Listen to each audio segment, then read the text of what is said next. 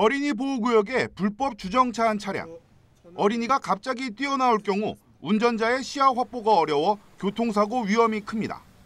성동구가 이러한 어린이 보호구역 불법 주정차 근절을 위한 구민들의 참여를 당부하고 나섰습니다.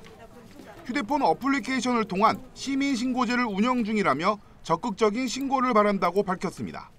실질적으로 공무원들이 어린이 보호구역을 항시 상시적으로 어, 관리하면서 계도 홍보하거나 단속하기는 지금 어렵습니다. 보호자나 시민들이 언제든지 잘못된 불법 주정차를 신고해 갖고 현장에 안 나가고 곧장 뭐 과태료 부과함으로써 운전자들이 아 이제는 어린이 보호구역에 아, 차를 대면 안 된다 이렇게 인식을 높일 수도 있고 휴대폰 신고는 생활 불편 신고 앱을 다운받아 간단한 인증 후에 할 수 있습니다.